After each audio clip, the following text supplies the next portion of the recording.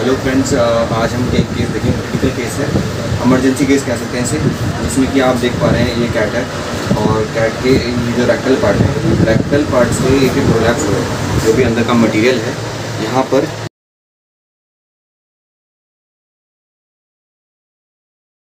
hello friends welcome to doctor Amit Doon pet life आप सभी का स्वागत है फिर से doctor Amit Doon pet life animal clinics में। और आज हम बात करेंगे एक मोस्ट इंपॉर्टेंट टॉपिक के बारे में, जो कि है रेक्टल प्रोलैप्स या फिर बोल सकते हैं एनल प्रोलैप्स जो कि जनरली होती है किस किसमें? डॉग्स में होती है और साथ ही साथ कैट में भी हो जाती है बहुत बार। तो फिर क्या है ये रेक्टल प्रोलैप्स या फिर एनल प्रोलैप्स रेक्टल प्रोलैप्स एक ऐसी कंडीशन है जिसमें कि रेक्टल जो टिश्यू होती है प्रोट्यूड कर जाती है। बाहर निकल जाती है कहाँ से? एनएस के थ्रू और साथ ही साथ ये किस कारण से होती है? ये जनरली जब रिपीटेडली स्ट्रेन्स पड़ता है, जब दबाव पड़ता है, कब? जब वो पूप कर रहा होता है, या फिर पॉटी कर रहा होता है, या फिर टॉयलेट कर रहा होता है यूरिन कर रहा होता है तो उस समय जो प्रेशर पड़ता है एनल ग्लैंड्स के ऊपर, जो एनल टिश्यू होती है तो फिर वो जो टिश्यू होती है अंदर की, वो बाहर आ जाती है। तो इस कारण से एनल प्रोलैप्स या फिर रेक्टल प्रोलैप्स हो जाता है। तो फिर हम देखेंगे दो टाइप के प्रोलैप्स होते हैं जनरली एक होता है पार्शियल प्रोलैप्स दूसरा होता है कंप्लीट प्रोलैप्स पार्शियल प्रोलैप्स में क्या होता है? एक स्मॉल पोर्शन ऑफ़ एनल जो रेक्टल टिश्यू होती है, वही दिखती है और वही प्रोट्यूड आउट करती है, ठीक है? और एक दूसरी कंडीशन कौन सी होती है? जिसमें कि पूरी की पूरी एनल टिश्यू या फिर रेक्टल टिश्यू पूरी लाइनिंग के साथ पूरा बाहर निकल जाती है। और इसमें डॉग स्ट्रेन नहीं कर रहा होता है लेकिन उसकी टिश्यू क्या है? बाहर निकल जाएगी। और साथ में स्पॉन्टेनियसली अंदर नहीं जाएगी बट वो बाहर निकल जाएगी और काफ़ी गंदगी फैल जाएगी उस वाले रेक्टल टिश्यू पर। जो रेक्टल प्रोलैप्स्ड टिश्यू होता है, काफ़ी ब्राइट कलर का होता है रेड होता है और सोलन ट्यूब की तरह आपको बाहर दिखेगा। और जनरली वो फ्लूड फिल्ड होता है मास होता है, क्योंकि काफ़ी स्वेलिन हो जाती है है ना? अब हम आगे बढ़ते हैं, हम कुछ सिम्टम जान लेते हैं। सिम्टम्स क्या होते हैं रेक्टल और एनल प्रोलैप्स में डॉग्स में? जो कि सिम्टम होंगे जनरली वो एक ट्यूब टाइप होगी और एक आ, एक स्वेलन मास होगा रेड मास होगा और जनरली उस समय खाना खाना पीना थोड़ा सा छूट जाता है डॉग का और साथ ही साथ एक टाइम आता है जबकि डॉग डॉग जो होता है स्ट्रेन करना भी छोड़ देता है। स्ट्रेन मतलब दबाव डालना भी छोड़ देता है क्योंकि उसका जो रेक्टल प्रोलैप्स है पूरा का पूरा मांस बाहर आ जाता है।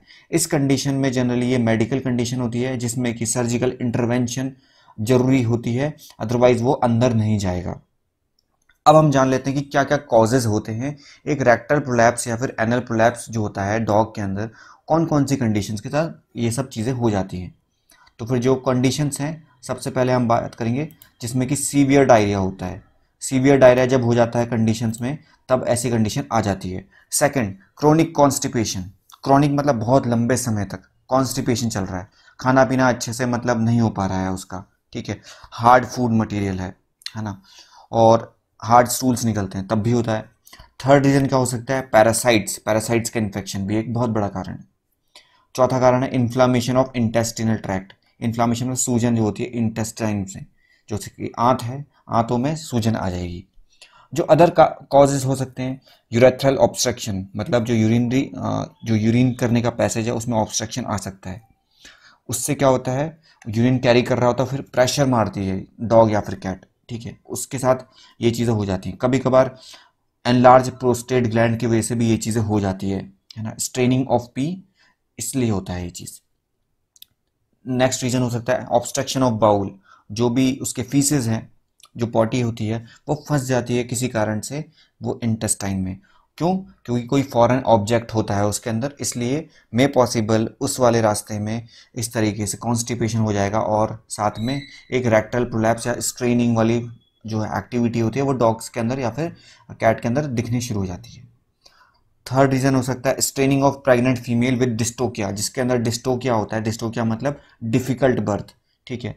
जो प्रेग्नेंट फीमेल्स होंगी, वो स्ट्रेन लगाएँगे तो फिर कभी कभार उस कारण से भी ये हो जाता है रेक्टल प्रोलैप्स दूसरा हो सकता है डॉग्स की जो एनाटमी होती है या फिर हेरिडिटी कंडीशन होती है बर्थ के जो डिफेक्ट्स हैं, उसकी वजह से भी ये चीज़ हो जाती है। पांचवा रीज़न हो सकता है रेक्टल पॉलिप्स जो पॉलिप्स होते हैं क्लम्स ऑफ़ सेल जिसे कहते हैं, उसकी वजह से भी ये चीज़ें हो जाती हैं। The next reason could be like tumours in the rectum और एनस कभी कभार क्या होता है, जो ट्यूमर होता है रेक्टम में, उसके एनएस वाले एरिया में, वहाँ पर भी ये चीज़ें हो जाती हैं। अब नेक्स्ट आते हैं कि इसको डायग्नोस किस तरीके से करेंगे डायग्नोसिस बेसिकली ये विजिबिलिटी होती है इसमें क्या बोलते हैं सामने आपको फ़िज़िकल एग्जामिनेशन करेगा आपका नियरेस्ट वेटनेरियन और वो देखेगा किस तरीके से एलोंगेटेड ट्यूब या फिर रेड वाली ट्यूब बाहर निकली हुई है एक्सरे या फिर अल्ट्रासाउंड कैन बी परफॉर्म्ड या फिर जो भी एब्डोमिन में किस तरीके से प्रॉब्लम आ रखी है वो डायग्नोस्टिक टूल हो सकते हैं और साथ ही साथ ये ऑब्स्ट्रक्शन हो रखा होगा बाउल में या फिर यूरिनरी ब्लैडर जो होगा काफ़ी मोटा हो जाएगा या फिर प्रोस्टेट ग्लैंड जो हो जाएगी काफ़ी मोटी हो जाएगी एनलार्जमेंट हो जाएगा प्रोस्टेट ग्लैंड का, ठीक है? या फिर जो प्रेग्नेंट फीमेल होंगी रिटेन फिटेसिज्म रिटेन मतलब जो बच्चा फंस जाता है अंदर फीटस फीमेल डॉग में, जब बच्चा दे रही होती है, उस समय भी ये सब चीज़ें हो जाती है। तो फिर ये कुछ कारण है मतलब ये सब कुछ रीजंस या फिर बोल सकते हैं, इनके थ्रू डायग्नोज कर सकते हैं, जो कि रेक्टल प्रोलैप्स या फिर एनल प्रोलैप्स हो सकता है डॉग में। ट्रीटमेंट की बात करते हैं ठीक है? अब हम देखेंगे वीडियो में किस तरीके से हम पूरा का पूरा, किस प्रोसीजर के तहत किस, किसके तहत हम लोग, किस प्रोसीजर के साथ आगे हम लोग ये रेक्टल प्रोलैप्स है, किस तरीके से हम रिजॉल्व करेंगे, ठीक है? तो फिर आप देखते रहिए वीडियो और ये इस तरीके से हम चलते हैं प्रैक्टिकल क्लास की ओर। हेलो फ्रेंड्स आज हम एक केस देखेंगे क्रिटिकल केस है। इमरजेंसी केस कह सकते हैं इसे। जिसमें कि आप देख पा रहे हैं, ये कैट है और कैट के ये जो रेक्टल पार्ट है रेक्टल पार्ट से एक प्रोलैप्स हुआ है, जो भी अंदर का मटेरियल है, यहाँ पर रेक्टल प्रोलैप्स हुआ है। काफ़ी मार्क्स लार्ज मार्स निकला हुआ है। तो उसको एक एक तरीके क्रिटिकल कंडीशन कह सकते हैं। जनरली ये ऐसी कंडीशन है जिसमें कि ये कंडीशन इसलिए अगर होती है जो कि एक एक तरीके से कभी बार कैट या कोई भी जानवर तो ऐसा फ़ूड खा लेता है जो कि डाइजेस्ट नहीं हो पाता। या फिर जनरली ऐसा भी होता है, एक हेरिडिटी कंडीशन होती है जो कि इसके पेरेंट्स के थ्रू इसको पास ऑन होती है। और कभी कभार हार्ड फ़ूड खा लेती है कैट या फिर कोई ऐसा फ़ूड जो कि डाइजेस्ट नहीं हो पाता है जो अंदर का मांस होता है कॉन्स्टिपेशन हो जाता है और उसको पुश करने के चक्कर में, बाहर निकालने के चक्कर में इस तरीके से कंडीशन आ जाती है। फिर देखते हैं आज हम किस तरीके से हम इसको प्रोसीजर आगे बढ़ाएँगे और इस कैट का प्रोलैप्स रिजॉल्व करेंगे। सबसे पहली चीज़ क्या करेंगे हम? पहले जो मास है उसका एनल या फिर रेक्टल प्रोलैप्स का जो मांस है उसको क्लीन करेंगे किससे? नॉर्मल सलाइन सोल्यूशन से। उससे भी पहले जो कैट होगी कंडीशन जनरल एनेस्थीसिया में रहेगी, उसको हम एनेस्थाइज करेंगे या फिर सिडेट कर देंगे। और जो उसका प्रोट्यूडेड मास है, उसको हम पूरा क्लीन क्लीन अप करेंगे और मेक श्योर sure जो भी स्टाइल कंडीशन होगी, साफ़ सफ़ाई के साथ सब लोगों ने ग्लव्स पहने होंगे और साथ ही साथ क्लीन अप करेंगे। नेक्स्ट स्टेप होगा, उनको जो मैग्नीशियम सल्फेट से हम लोग जो उसका मास है, उसको रिड्यूस डाउन करेंगे, क्योंकि हमने इसको श्रिंक करना है। श्रिंक करना है, थोड़ा डिक्रीज डाउन करेंगे उसका मास है ना? मैग्नीशियम सल्फेट अच्छे से पूरा का पूरा लगाएँगे और उसका मास डिक्रीज करेंगे। कम से कम पाँच मिनट लग सकते हैं इस प्रोसेस को होने में डिक्रीज डाउन होने में जो उसका मास है श्रिंक होने में। ठीक है? इसके बाद हम वेट करेंगे और बर्फ़ की सिल्ली से या फिर आइस पैक से हम उसको मास्क रिड्यूस कर देंगे। साथ ही साथ आप फिफ्टी परसेंट डेक्सट्रो सोल्यूशन से भी यूज़ कर सकते हैं और उसका मास्क रिड्यूस कर सकते हैं। ठीक है? कम से कम पाँच से दस मिनट इतना टाइम आपको लगेगा इसका जो मास है जो भी श्रिंक्ड मास है उसको श्रिंक करने में। या फिर एनल जो फिर एनल का जो रेक्टल मास है उसको रिड्यूस डाउन करने में। इस तरीके से आप करते रहेंगे और उसका जो मास है और वेट करेंगे पेशेंटली हड़बड़ी नहीं करनी है जल्दी नहीं करनी है। जल्दी करेंगे तो फिर उसको आ, कोई इंजरी हो सकती है। लास्ट में हम slowly and gradually over the time जो भी मास है प्रोट्यूटेड मास है इंसर्ट करेंगे और आप देख सकते हैं किस तरीके से सारा का सारा मास हमने इंसर्ट कर दिया है अंदर। और लास्ट में जब ये मास जब इंसर्ट हो जाएगा तो जनरली कंडीशन ये होती है, ये री अकर हो सकता है। इसमें क्या करेंगे हम? री अकर ना हो, हम एक स्टिचेस लगाएँगे स्पेशल टाइप का स्टिच लगाते हैं, जो कि इसके एनसर्कल करके, उसके अराउंड में सो डैट कि वो थोड़ा पॉटी भी कर पाए और साथ में स्टिचेस में भी प्रॉब्लम ना आए और इस तरीके से हम कैरी फॉरवर्ड करेंगे। जब हम स्टिच लगा रहे होंगे तो मेक श्योर sure हम लोग पर्स स्ट्रिंग नाम का सूचर होता है। बेसिकली हम वही यूज़ करेंगे पर्स स्ट्रिंग सूचर ठीक है? एक स्पेशल टाइप का एक वेटनरी में यूज़ होता है सूचर जो कि एनल ग्लैंड प्रोलैप्स में ये सब चीज़ें इस्तेमाल होती हैं। तो लास्ट में इस तरीके से हम थोड़ा स्पेस छोड़ेंगे सो डैट कि फीसेस भी कर पाए और फाइव टू सेवन डेज़ के ऑब्जर्वेंस में हम लोग इसको रखेंगे सो डैट कि आगे इस तरीके से कंडीशन रीअकर ना हो। आई होप आपको इस वीडियो ने काफ़ी हेल्प करी होगी। बट बट बट कभी भी आप अपने आप से कोई भी ऐसी चीज़ को अपने हाथ में नहीं लोगे। बट उससे पहले आप जब भी ऐसी कोई कंडीशन आती है तो आपको सीरियस लेना है। और फर्स्टली अपने नियरेस्ट वेटनरी डॉक्टर के पास को डॉक्टर के पास आपको रीच करना है और इसको रिजॉल्व करवाना है कि क्योंकि अगर बहुत टाइम तक ये रेक्टल टिश्यू अगर बाहर रह जाता है तो फिर उसमें काफ़ी गैंग्रीन बनने की समस्या हो सकती है, काफ़ी बैक्टीरियल इन्फेक्शन लोड लेने की काफ़ी समस्या होती है। अगर दो से तीन दिन तक ये बाहर रहेगा तो बहुत मुश्किल हो जाता है, फिर से इसको अंदर डालना या फिर एक तरीके से रिवाइव करना, है ना? क्योंकि इन्फेक्शन काफ़ी लोड आ जाता है बाहर के एक्सपोजर से, ठीक है? तो फिर इस तरीके से हमको रखना है और जो आगे के कुछ पाँच छः दिन जो होंगे, उसको हमको लिक्विड डाइट पे लिक्विड डाइट पर रखना है एनिमल को और साथ ही एक स्टेबल जगह पर रखना है सो so डैट की जो रिस्क हो दोबारा से रेक्टल प्रोलैप्स होने का, वो डिक्रीज डाउन हो जाए। बट एक और चीज़ है इसमें कंडीशन में, जो सीवियर रेक्टल प्रोलैप्स होते हैं, जो बहुत ज़्यादा बड़ा मास आता है जब रेक्टल प्रोलैप्स का, उसमें हम एक दूसरा मेथड भी इस्तेमाल करते हैं, जिसमें कहते हैं कि डाइंग जो रेक्टल टिश्यू है, वो हमको रिमूव आउट करनी पड़ सकती है सर्जिकली रिमूव करके। उसमें आपका जो वेटनेरियन है, वो रिसेक्शन यूज़ कर सकता है, या फिर एक तरीके से एनास्टमोसिस कर सकता है कटिंग वो टिश्यू को कट करके, दोबारा से दो इंस्टेंट टेस्टाइन को मिक्स करके, या फिर रिकनेक्ट करके जो दो एंड होते हैं इंटेस्टाइन के उनको मिक्स करके वो उस तरीके से जो डेड टिश्यू है उसको रिमूव आउट करके और जो आ, जो काम की टिश्यू है उसको इस्तेमाल करके उसको रिकनेक्ट करके एक नई इंटेस्टाइन को एक तरीके से फॉर्म कर सकता है। इसके लिए सर्जरी रिक्वायरमेंट होती है जो कि सर्जिकल में डेड टिश्यू रिमूव आउट कर देंगे और जो फर्दर रिस्क है उसको डिक्रीज डाउन करेंगे।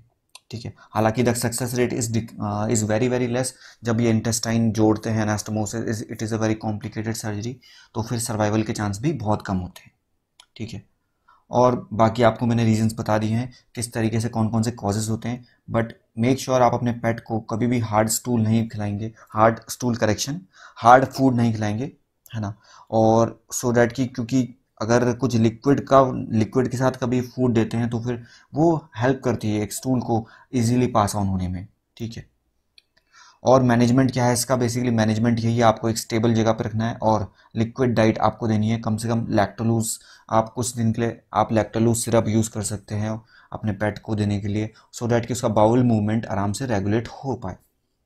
आपको रेगुलरली फ़िज़िकल एग्जामिनेशन करवाने होंगे अपने पेट के और साथ ही साथ deworming is very very necessary अगर डिवॉर्मिंग नहीं कराएँगे तो क्या होता है? इंटरनल पैरासाइट जो होते हैं, वो पनपने में एक तरीके से है, पनप, पनपने में जो होते हैं हेल्प करते हैं और जो एसेंशियल बैक्टी एसेंशियल वॉर्म्स होते हैं, उनको खा जाते हैं।